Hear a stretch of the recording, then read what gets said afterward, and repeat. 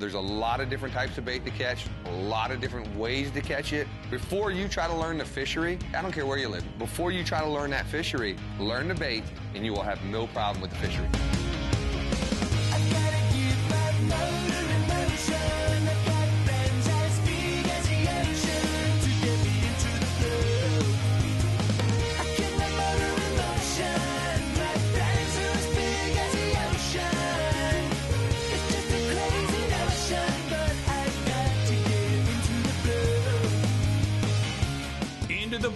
Presented by Yellowfin, with Captain Scott Walker and Captain Steve Rodger.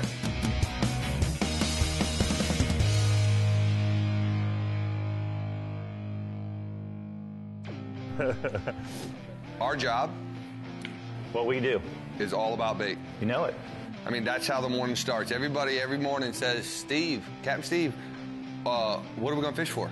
And I, well, I can't tell you that because it's going to depend on what bait we catch. Uh, the bait dictates where we're going, where we're going to end up. You know, if I'm going after speedos or ballyhoo, means we're going to end up in the deep water. And if we're in the deep water, guess where we're going to fish? In the deep water. But if I'm going way out in the Gulf to catch pelchers or something, then we're going to fish in the Gulf. So it's really the bait is everything. The, bait, the morning starts with where you're going to catch it, Right. what you're going to do with it, and what kind of fish you're actually going to go after. And you know, doing it every day, you, you can start to follow the, the bait. Uh, find the pelicans, pretty much know where they're supposed to be, and then if they're not there, you know where to go the next bait. You know, you're going to know whether they're inshore, offshore, just moving east or west on any given day, because you got to have them. And if, if it takes five hours to catch them, that's five hours you're not fishing, and uh, so that's that's not possible. 12 o'clock. Straight ahead. You coming into deep water now? All right, here's what I want to do. The bank that's up ahead of us, I want to hug that joker because we got that north wind. Yeah, I believe that'd be great. Once that dins, we're done. From this high up, that's going to throw the net down fast. All right, let it go. Let it go. Let You go. catch it fresh every day. I catch it fresh every day if I can, but I have three charter boats going out and two or three other charter boats that need to bait too. So we'll go in the mornings for fresh, and then we're going to go as soon as we're done cleaning fish in the day while the boat's getting washed. We're going to go catch some more the night before and put them in big cages so that we guarantee we have something to throw to a fish in the next morning because we can't in these four-hour half-day trips. We can't be spending an hour catching bait. Uh, so, you know, I've got, I spend hundreds and hundreds of dollars building big cages and leave them all over the island to hold pilchards uh, overnight and goggle eyes that we catch at night and blue runners and the stuff that we that will cage up well cigar minnows sardines. And on our pretty days when we're not booked i'm going to catch cigar minnows and sardines with quills and we're not going to handle them we're going to we're going to dehook them never touch them and then one at a time which i know you hate I'll never let you transfer bait on my boat ever. But just write that down. but when, when we take, No, if, we if the take goal the time, is to keep him forever, one at a time. yeah. If the goal is- so you and, see me, and I- then we have to feed them. Then we have to feed them. Yeah. So, but it's all part of what we do Yeah. every day. I like catching bait better than catching fish because once I catch the bait, I'm gonna catch the fish. Don't mind me. I'm just a little hoop net sliding back under you guys. I think we're out of here, buddy. We got plenty bait. We get Put me out on the fish, Captain. Come on, put me on the fish. Into the Blue, presented by Yellowfin, is brought to you by Yellowfin, only in a Yellowfin. Yeti, wildly stronger, keep ice longer. Simrad, brought to you by the new Simrad NSS Sport touchscreen display. Mercury, and by Costa Sunglasses, King Sailfish Mounts, and Tailwalker Charters.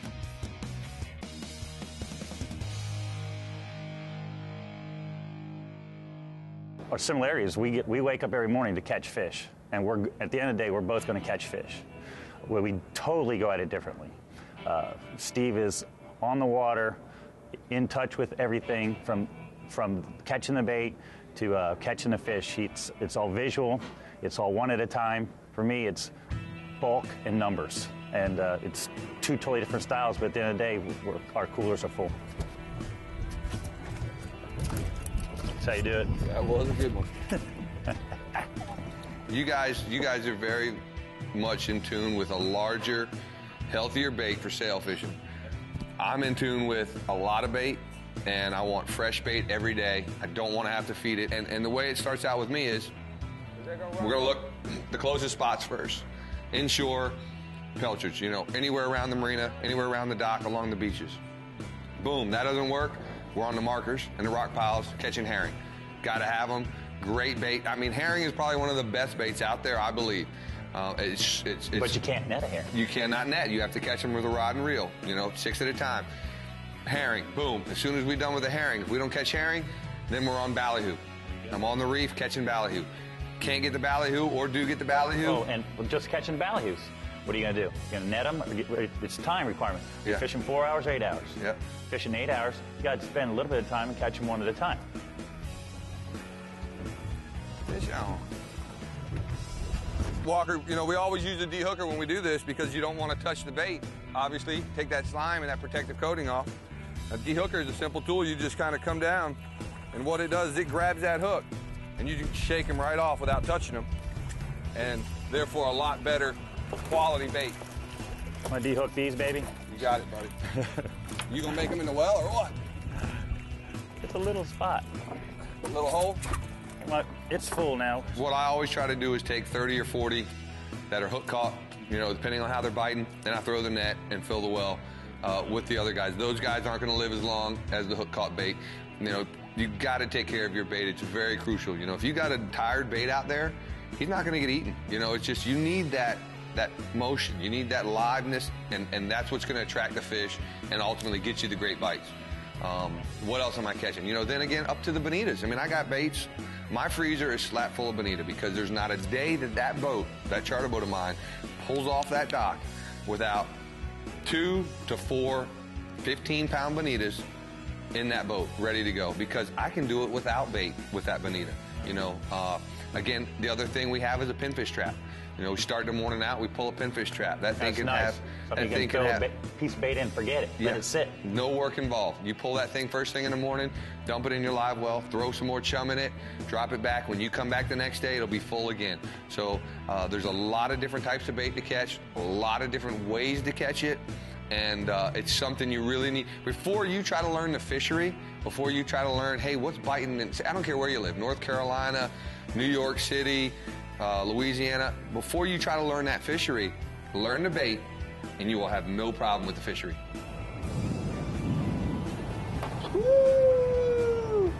The antennas would not have made it. A la malada. I think you're falling in love with this town. I am. Hey, easiest bait I ever gonna catch? Guaranteed. All right. Watch how watch me work. Show me how you catch it up here. Good morning, Billy. Sorry we're late. Got lost in the mangroves.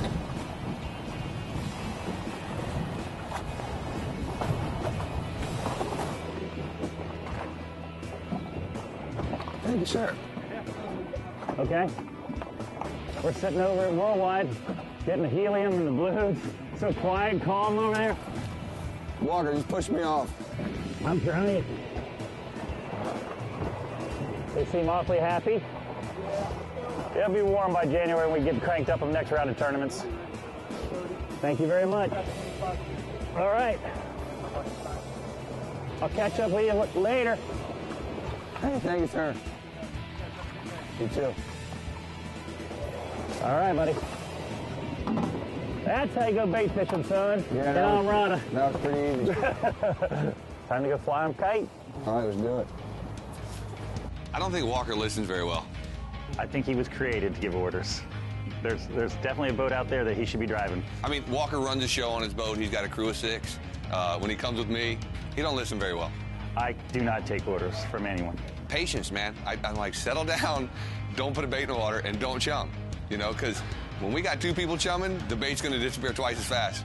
Every time I turn around, he's throwing bait out. I'm like, damn, Walker. Actually, when Steve is barking orders first thing in the morning, it does sound just like Charlie Brown's teacher.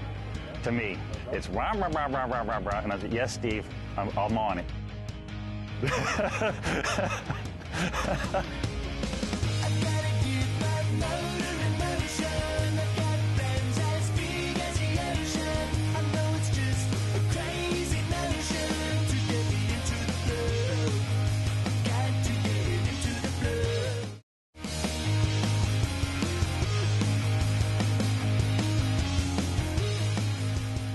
when you do find the pilchards, see the birds bobbing, you got to make two quick decisions. For I do, I throw two different kinds of nets, a three eighths and a half inch, and that's what I'm talking about is you know the squares, how, how big the squares are.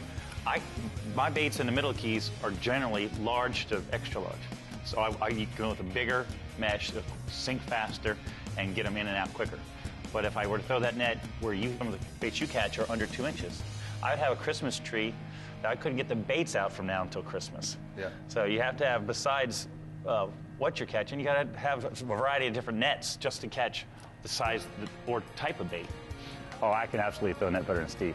Steve, I noticed you still throw your cast net in your mouth. I, you know, that's, Yep. that's the tried and true, the way everyone does it. I quit doing that a long time ago because I just wasn't comfortable with anything in my mouth. Definitely throw a net better than Scott Walker. I can make one quick adjustment. If the bait's running real, real fast, and I got to throw it the end of the rope, I'm gonna grab it closer to my knee. When it's just you know steady first thing in the morning, I'm gonna grab right at my hip because it's gonna easily open. You know, take advantage of the whole radius of 12 foot net. You want it open 24 feet. But then again, I'm not gonna put it in my mouth. I'm gonna take a third of the net, just put it up over my shoulder, like that. And that's the that's the back third of the net. That's where it's gonna come off last. And as it drags off my shoulder, that's what's gonna open the net. Versus you, what I think you do. Then you're gonna take what's left, half of that, hold in your hand. Do this in your sleep nowadays, I've do a million times. But now I'm ready. If, I'm, if the bait's not real, real close, I'm gonna put up on my shoulder, just relax until we start feeling it. But then, you know, then it's time to come down off, let it fly. But it, again, you're just gonna get it swinging. That thing's gonna pop just like that. I didn't throw it at the end of the rope because I'd have killed that guy right there. You don't even need rope when you throw them that short. But you might notice that that's a perfect circle. The Yeah. bait's the bait's coming in the boat. Beautiful. That's matter, a buddy? perfect circle right there. Well, if it was in the water, bro, it'd be open. It bounced. Now I'm gonna have to grunt and throw it at the end of the rope to impress you. Obviously. Big days moving.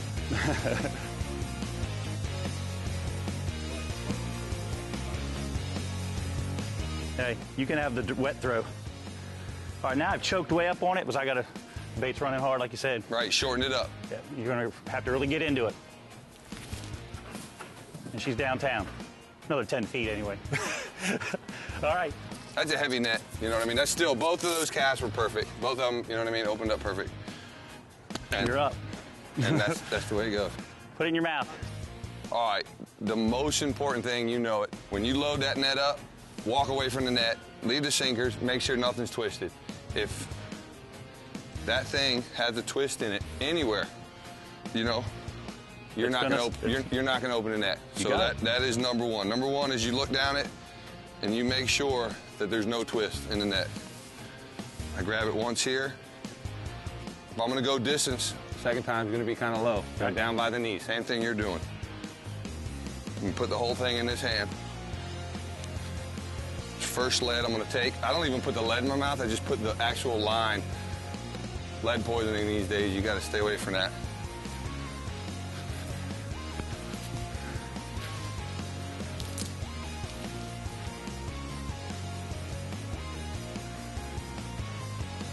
Now, depending on if I'm gonna throw far, I'm gonna take more lead, which is giving me more power, more weight to throw the distance. So that is a lot more than I would take if I'm just throwing close. I'm gonna throw this first one far and see what we get. It's nice being tall, too, isn't it? Oh yeah, It helps. it sure does. Especially getting over those outboards. that was a beautiful throw, man. It's a heavy ass net. Yeah, you don't want to throw that one 10 times. No. But again, that was me attempting to throw distance on that net. It bounced. It bounced. It did, man. It bounced. That's all it's gonna do. It bounced. But at any rate, two totally No, different that's styles. perfect. That's a perfect circle, and that's all you can ask. And two totally different styles. Yep, same result. I'll tell you this though, Steve throws a prettier, prettier net, but I catch more bait. The only reason Scott Walker has ever caught more bait is because I put him on it. For 30 years, I've had 4,000 pilchards in my level every morning. He's never been on my boat once.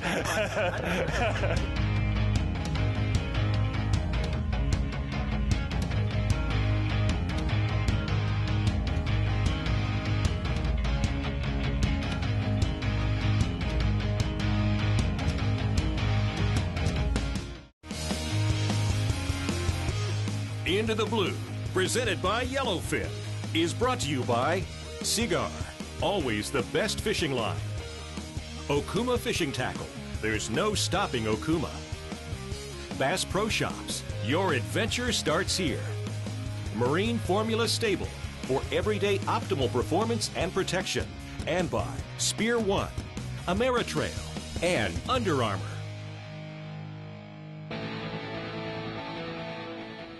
You know, my favorite bait is the Pilchard. You know, ultimately, that's my go-to bait. That's what I'm going to go after. That's what I want in the well. Now, is that bait better than any other bait? I don't think so, but it's the numbers game with me. So ultimately, my favorite bait to use is the Pilchard.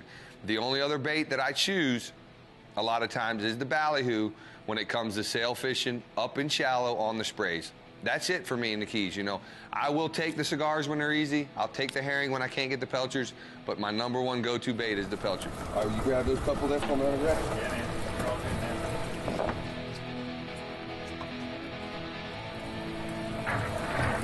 You said a couple.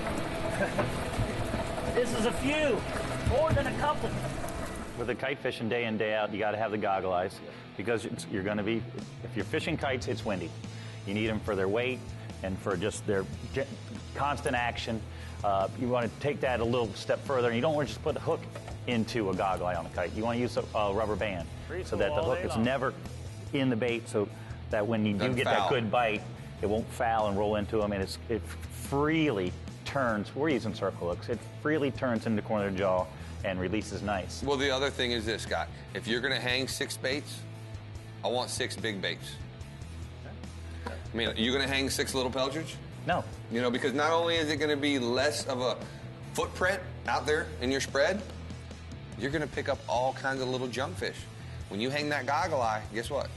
You're not going to pick the, up the bonitas. You're not going to pick big up. boys are coming. Yeah, you're going to get big bites, and that's what you're looking for in this upper key stuff with these sailfish and these wahoos and these bigger kings. You're looking for a big bait for a big bite. And if you're going to hang six, you want six big ones. Me, I'm looking at the smaller stuff. Numbers is what I want. I want all the bait I can get. I want to carry as much as I can. See, I can carry twice as many this big than I can carry this big. So to me, ultimately, excellent math. Yeah, I want, you know, my dad's a math teacher at QS 35, 35 years. Go Key West Conchs. we use all kinds of baits down here, man. I mean, it, it's endless. The list goes on and on and on. Uh, you know, from a swimming fish to a crawling crab. It's, uh, you know, shrimp. Um, you know, the crabs we use, obviously, you know, more inshore on the wrecks to catch permit. Um, you got to have a crab to catch a permit, and they come in the ocean, so you know that's another bait we need to be able to catch or buy. And again, you know, we even use large baits. You know, bonita, that's a bait. Barracuda, man, I'll take a 25-pound barracuda, fillet that thing up, and use it for shark bait. Use the carcass, have him hanging over the side. He draws in the sharks. It's a great tool um, to have in your shark arsenal of tricks. Pinfish we catch in a trap. Mullet, okay, the only way to catch a mullet is with a cast net. Period. It's, it's, it's it. They don't bite. You know, you can't trap them. It's with a cast net. A mullet is the only bait that I'll tarpon fish with if I'm live bait fishing. Uh, you can sit next to 50 boats, and if they got pinfish, you're going to outfish them I mean, they're going to go home. They're going to pull their anchor and get away from you, so they don't have to watch you catching. Their clients are really starting to go, "Hey, man, what's going on?" Because he's got, he doing different? He, has got mullet. Something about a mullet and a tarpon. Uh, tarpon can't say no. Herring, you know, you got Spanish sardines, which is awesome bait. You got cigar minnows, great bait. Um, uh, when sail fishing, it's goggle eyes, sardines, cigar minnows, ballyhoo, blue runners. And there's numerous times where we're in the well. You see it, man. I mean, I'm throwing out a pilchard. He don't get eaten, he's coming off. I'm throwing out a ballyhoo. If he don't get eaten, he's coming off. I'm throwing out, you know, cigar minnow. Sometimes what's not working, you know, just for the just the same as for a freshwater bass fisherman. What's not working with this color might work with this color. It's the same with us. What's not working with this type of bait, live bait, it's going to work maybe with this other bait. Well, even if you have the live bait, say a pilchard's not working, then you take him before you give up on a pilchard, you belly hook him and then he's going to swim down a little deeper. He's going to swim a little different than all the rest of the ones.